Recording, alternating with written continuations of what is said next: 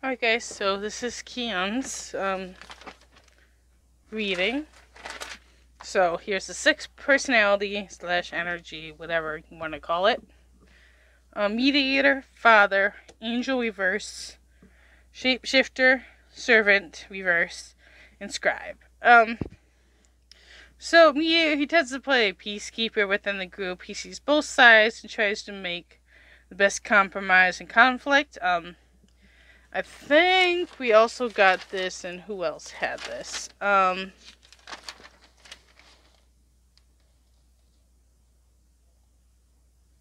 never mind, we didn't have this. Um, I thought someone else had it, but no one else has had this. Um, so the father role, he's supportive. He's trying to guide the others right now, like trying to keep everyone in a certain direction. Um, And by this, he's probably referencing Hyungwon right now, who's kind of all over. Um, so we got the angel in reverse. Um, he tends to put on a more innocent act than what he is. Um, yeah, so he's not innocent as innocent as he likes to appear towards people. Um, we had the vert the shapeshifter on this I don't think is him shifting his personality per se. I feel this is just keen insight in difficult situations and adaptation to situations. It's not the same thing. It doesn't seem me having Hyungwon's. Um, got the servant in reverse, so using a lack of money as an excuse not to move forward in life. So he's had a lot of opportunities that have come his way, and he uses his financial situation as an excuse not to do it and because he doesn't want to admit the real reason why he doesn't want to do it um so he often feels the need to like excuse his actions. Um this is a particular person he feels he has to give explanations when he doesn't want to do something to. Um and I'm also going to get something else I'm getting from this card in a moment. Um, scribe, so he values knowledge. Um, he could also have a talent for writing. This could be lyrics. This could be just normal writing as well. Um, so, this is the other thing I'm getting from the servant card. Um, right now he feels more like he's being treated more like a servant than um, by the company than an artist. Like he feels like he's being forced to do things he doesn't want to, just to serve their purposes. Like he doesn't think he's being valued. Um. And so yeah, he's turned down a lot of opportunities, probably with different companies, using the excuse he's not in good like in a good financial place to leave his current contract. Um, however, this isn't the truth. He just he wants to fight to keep the group together. Like he doesn't want to leave the group.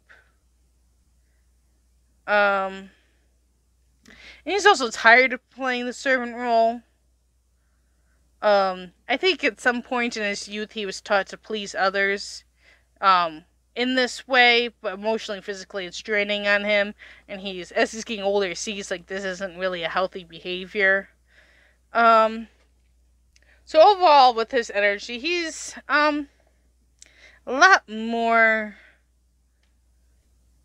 emotionally aware and um expressive with his emotions versus any of the other members I've read on. Um so, like, right now, his emotions are pretty high.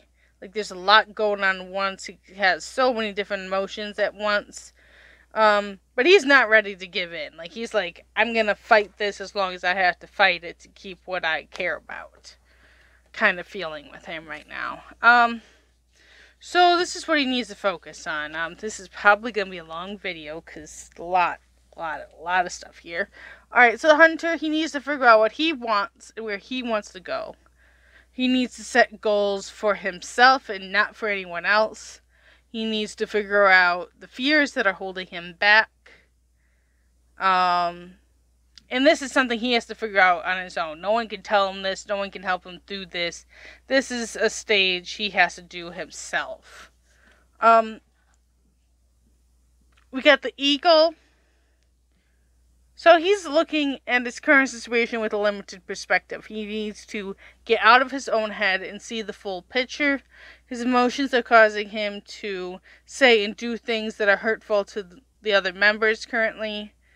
Um, he so he kind of needs to let go of these emotions or like find a new sort of output for them because it's causing issues. Um, and I do think he needs someone he can talk to.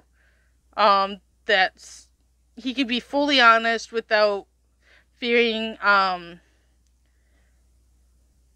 the trust being broken and things getting out that he doesn't want to get out because he doesn't always feel he can be completely honest and everything he has to say with the other members because he's afraid of hurting them. Um, so we have the peacekeeper. So, when there's a conflict, he has the need to always be right. Like, he's the type of person when you're in a conflict with, like, they don't back down because they know they're right and they sometimes won't see the other views. Now, it is a little conflict with his personality, with the mediator, but I think this. That's not in his own personal conflicts. This is his own personal conflicts. Um,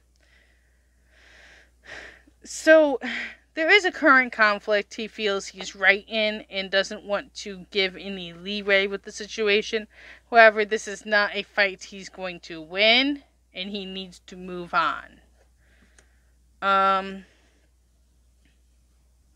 Alright, so I didn't do a video on this particular situation because it like I couldn't get a straight answer. It was like yes and no and yes and no. I'm like I'd just give me an answer. Um, so, given the current rumors, this could be indication there is some truth to the conflict, um, to this, and it's causing conflict between him and the company over it.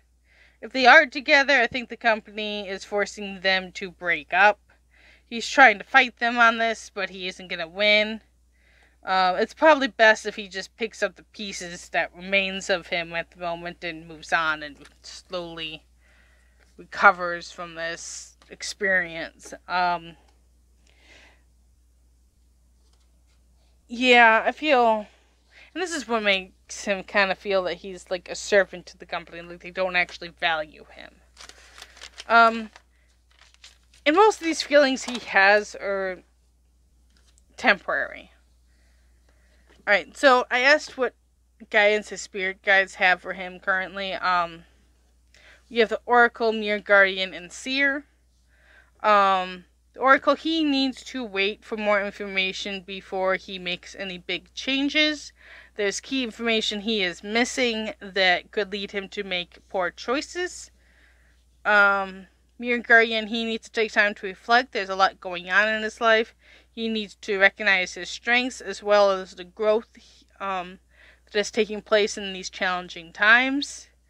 Um, Seer, insecurities are blocking his vision of his future. He needs to surround himself with more positivity, positivity to get through this. Um, relying on the others is necessary. He can't get through this alone.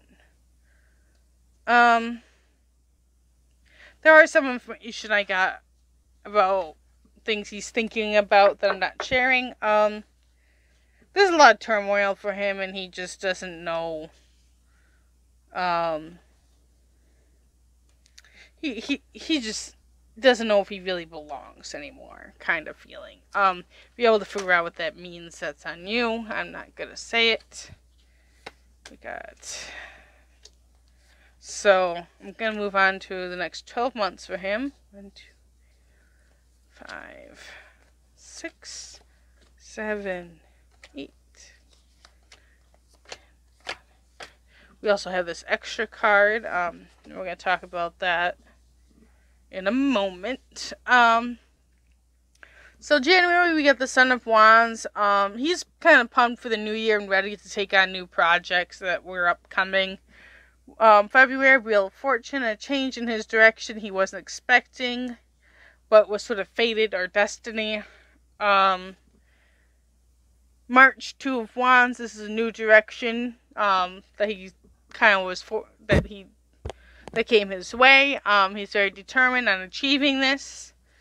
Daughter of Wands, um, this is April. His he's passionate about his music slash career, very focused. Um, there's not much room for romance at the current moment.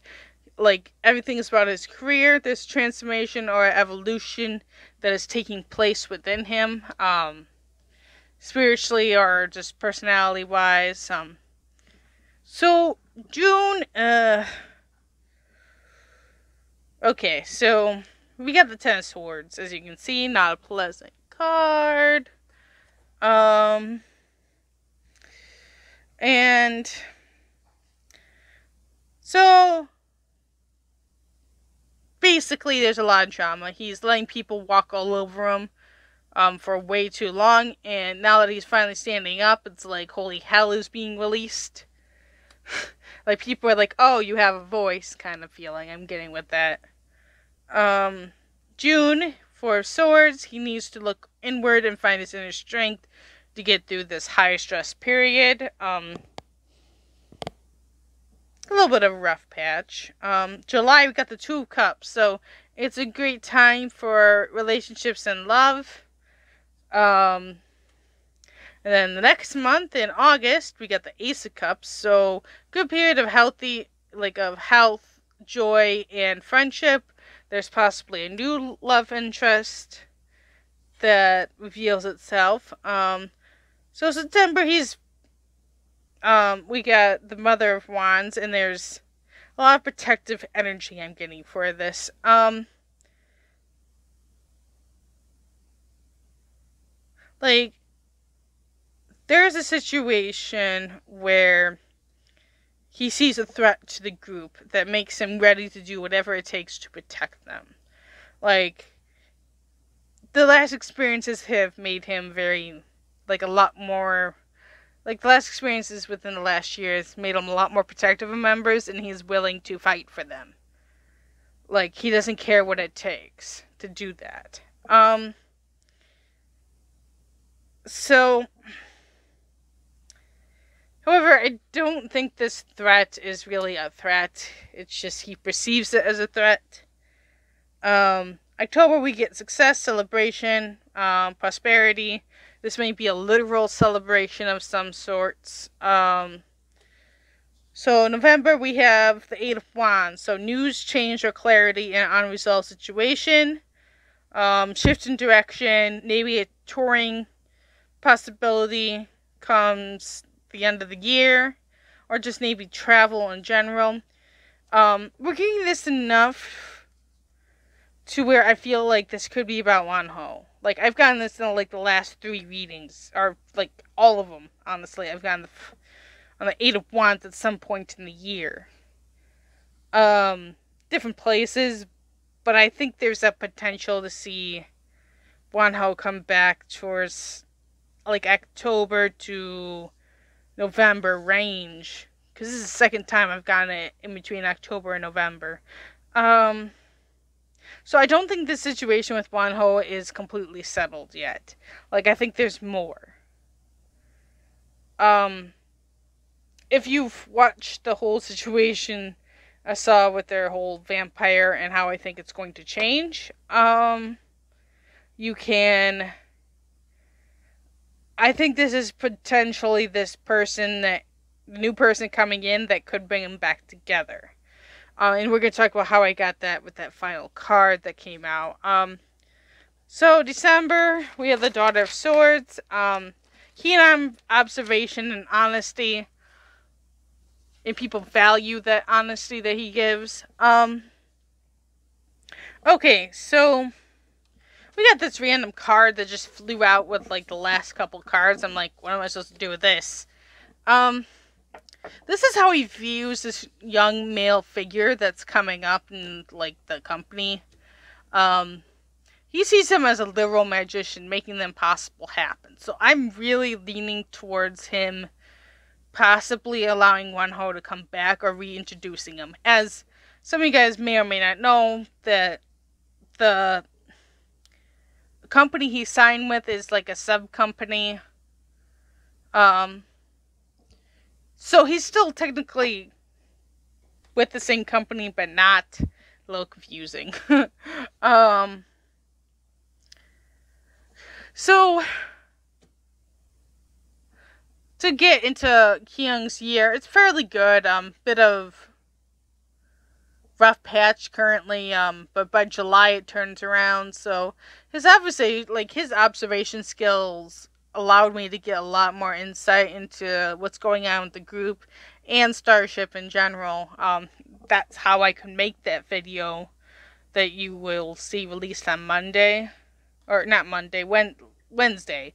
This is coming out like next Monday, so I it's getting a little confused in my head when I'm talking about things. Um so I'm going to talk a little bit what's going on with the group. So the group as a whole is unhappy with Starship. Um, everyone's wondering where they're going and is anxious. I could, I think this negative presence or psychic vampire, whatever the heck you want to call them, um, is often threatening them to break them apart they don't do exactly what he says. Um, so yeah, the situation with this person's gonna be over by um anywhere from June to September. I think this is the threat that Kihyun sees as this new male. He's not really a threat, just he's worried it's going to change everything and take away like make the entire group disband kind of feeling and that's not what this male's doing. Um I like the situation with Wonho is not over um, at all. Like, there's still potential he's coming back. Um, and I think this new male's gonna have a like a influence on this. Um, so we're just gonna have to wait out and see what happens if you're a fan. Like, just wait. There's things going on behind the scenes that we can't see. Like, this isn't public information.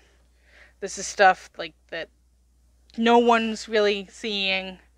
Um, like again, the situation with this young male. Um, he's not someone in the public eye.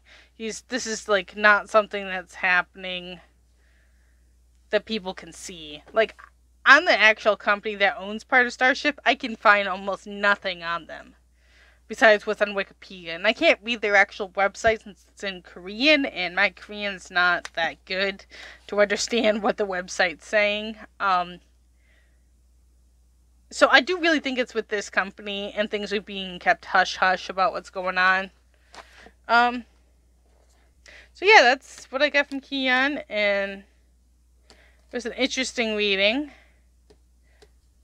He made it a lot easier for me to get like the full picture. Um, and I appreciated that help because I didn't really know exactly what was going on.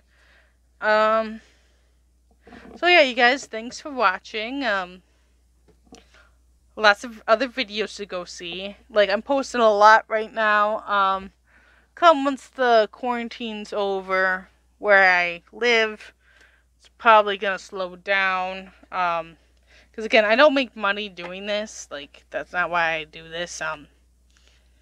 So, like I have to go back to my regular job once they reopen. Um.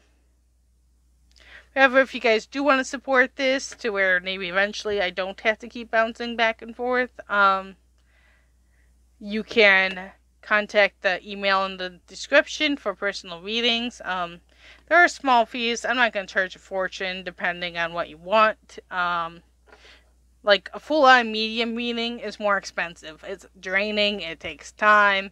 I have to make sure I'm getting the right person. It, so it's there's a lot involved in that. Um, sorry, guys. Um, Eventually, I might open up donations, but not right now. Um, really, if you want to support get hold of me that email or go on my Tumblr um, and message me there. I can do it video, audio, or just through text and send you pictures of your cards if you want to see them. Um, so thank you for watching these videos so far. I do appreciate it. I wasn't really expecting any views. So anything at all makes me kind of happy. Um, because these do take time. Like, in between doing the actual drawing of the cards, me looking through books to make sure I got everything, and recording can take anywhere from um, like half an hour to like two hours depending on how many videos I'm doing and how many times I have to redo them. Like if my camera's cooperating, if there's not a bunch of background sound, it's I live with people, so things can um and my office doesn't even have a door on it, so sounds are a thing. So anyways, I'm gonna leave this video. Um, check out the other Monsta X videos through the pay the playlist playlist. Um. So bye. Guess I'll see you guys soon. There should be two videos Monday. Maybe something on Wednesday if I feel motivated. Then Wonho's video is on Friday. So today will be Kihyun and I am. Don't make me say his real name. I can't. I try, okay? Maybe I'll look it up and then practice it enough to where I can say it. Um, I try. And we have. Yeah, Friday's Wonho's video, and that's gonna be so long. That's gonna take a long time to do, so thank you guys. Um, hope you've watched the other videos.